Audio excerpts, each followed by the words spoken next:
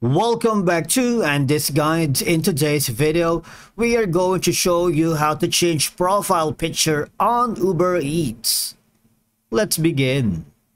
Now the first thing you need to do is to log in using your credentials. If this is your first time on Uber Eats just click the sign up option and from here just follow the on-screen instructions and you're good to go.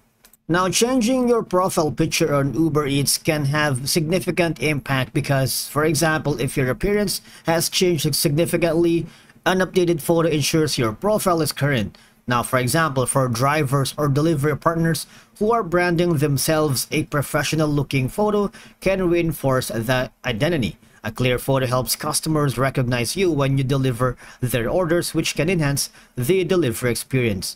Your profile picture is often the first impression a customer has of you. A friendly, approachable photo can make a positive impact. Now, one, if you're using the Uber Eats on the website, I need you to click on the three horizontal lines on the upper left corner. And from there, I need you to click on the Manage Account. Now, once you are here, this is going to be your profile picture. All right. Now, if you click on it, as you can see there's going to be a forewarning notif notif that your photo can't be edited and you need to contact the Uber Eats support if you want to update the photo. Now let's click on that. Now here are some guidelines that was forwarded to us if you want to update our profile photo. All right. Now, I need you to understand and read all the information here before you can update.